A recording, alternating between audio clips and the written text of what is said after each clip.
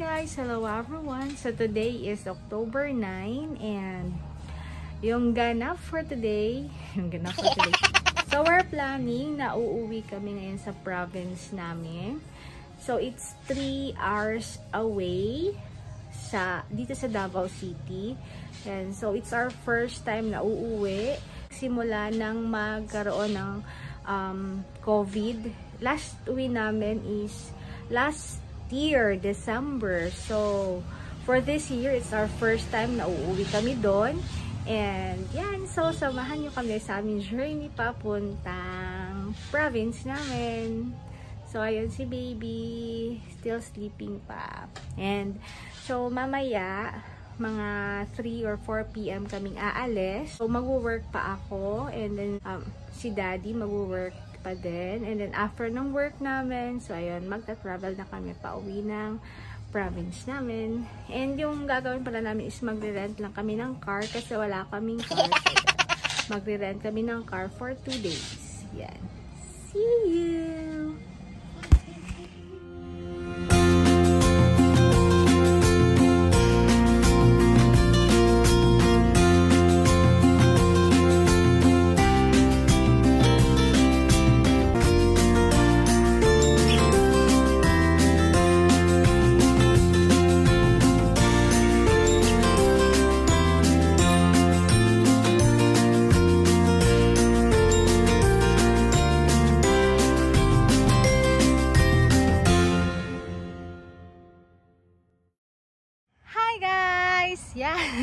Hello! Hi! So we're here now dito sa aming province. So hindi ako nakapag-vlog kahapon while ah, papunta kami dito kasi ah, masyadong ano na ah, masyadong gabi na.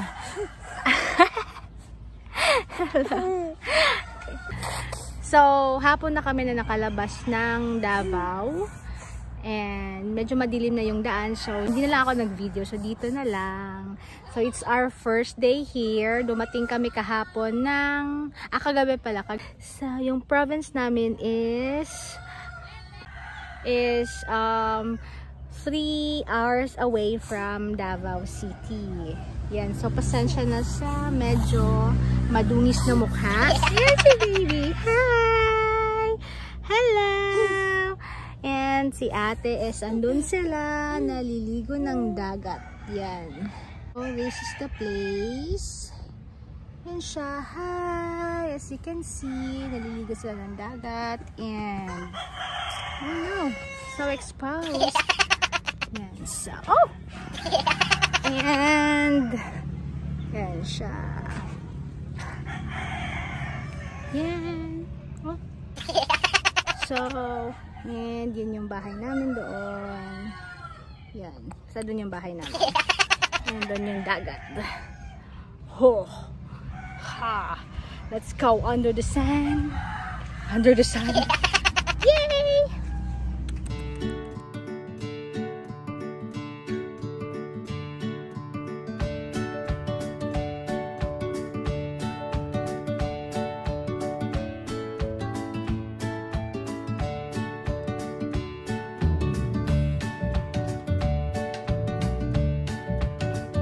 labas muna natin ang puso guys ha. Alam niyo na, breastfeeding mom. And ang mga nanay naman talaga pag nasa bahay lang, hindi nagsusuot ng bra.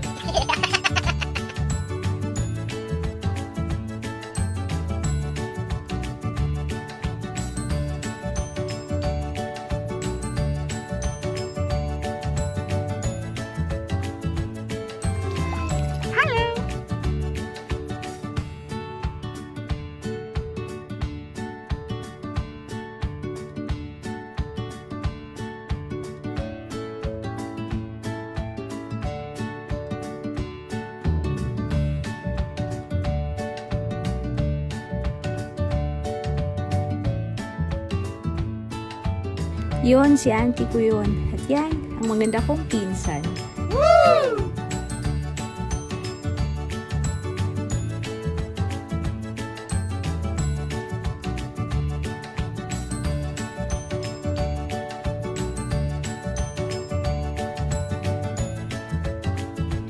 Thanks, Auntie, sa malaking payong. Tignan nyo si Exie. Nakapantulog pa kasi nga. Pagkagising, pumunta agad ng dagat.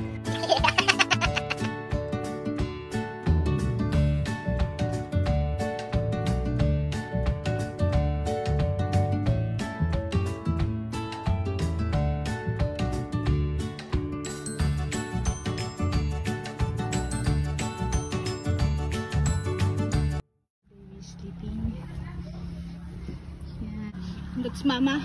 Oh no. Hi, Mama. Hi. Say hi to my vlog. And this is the chicken of my brother.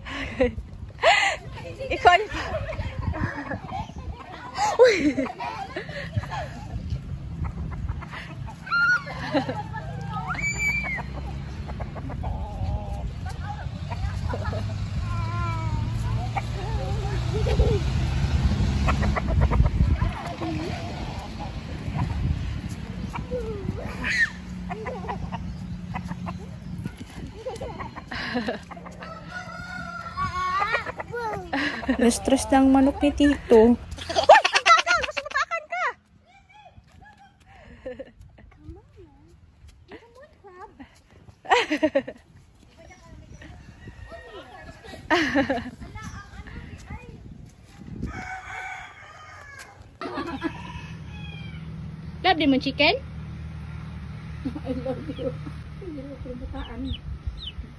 Kiss chicken, kiss.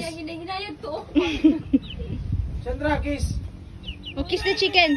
Hug the chicken. Dali na. Hug the chicken. Kay iulit na na siya sa kulungan.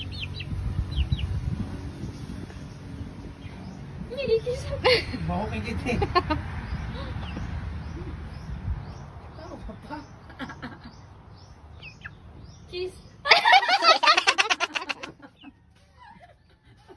Sango.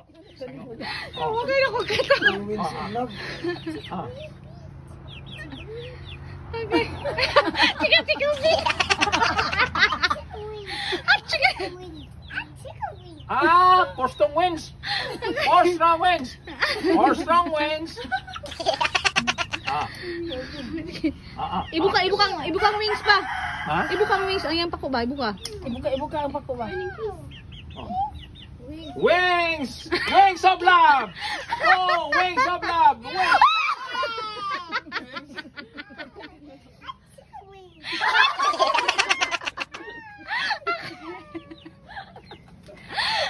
Wings!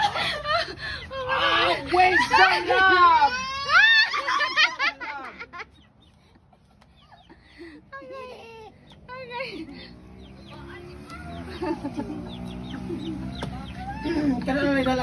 60 FPS. Oh, no!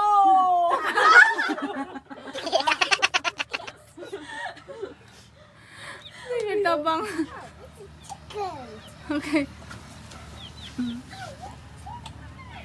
Wala nang manok ba na, Luya? Ako lang magkas. Kabuya, hindi akong roll na rin ako. Okay. Ayun, ang isa yung Chicken, chicken noodles. Lalagay.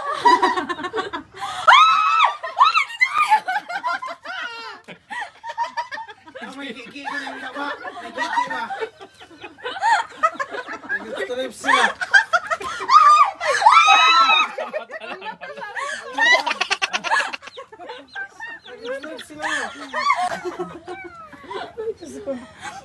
Kiss. Ang isa sa mukha no. Ikaw siguro ang ipon ba? Hala na mo po ka. Flowers.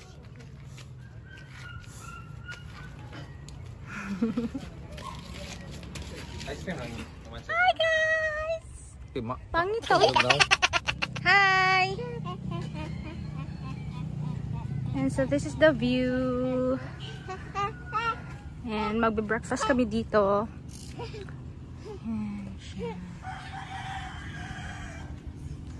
And that's our house there. There.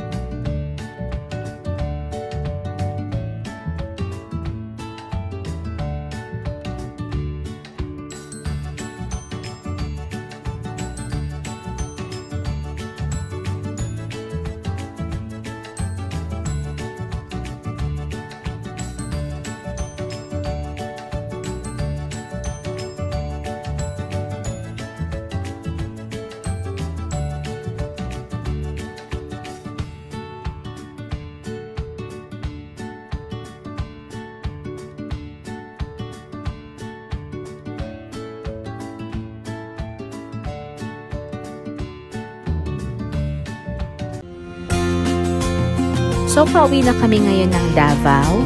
Pagkatapos naming nag-lunch is nag-travel na kami agad para mas maaga kaming dumating doon. Kasi nga may curfew ang Davao at saka medyo traffic na. Kaya, kaya ayun, um, inagahan namin ang pag-alis. Yan, kasama nga pala namin sa travel na ito is yung pinsan ni Daddy na si Red Red at saka si Yoyong. Eh, salamat sa kanila kasi uh, may kasama kami.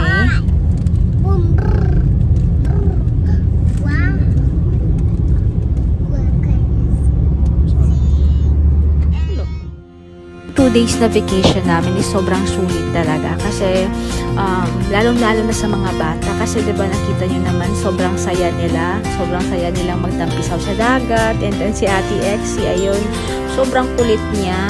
And lagi niyang hinahabol yung mga balong niya. And then yung baboy kinukumusta niya. And pati yung mga aso at saka pusa. Ayun kaya sobrang happy ako sa naging vacation namin. Ayan, so malapit na kami dumating ng Davao and babalik na naman kami sa dati namin gawi na nasa kwarto lang. Ayan, so magtatrabaho ulit. Ayan, so we're hoping na makakauwi din kami at saka magiging okay din ang lahat. Mawawala itong COVID para naman um, ma-feel din ng mga anak namin yung normal life. Ayan, pati din kami.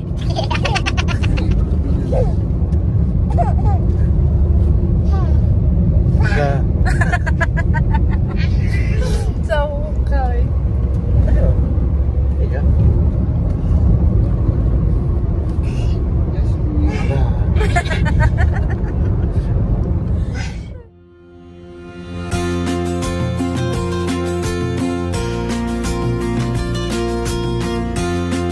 Hanggang dito na lang muna guys. See you in my next video. Salamat sa panonood. Bye!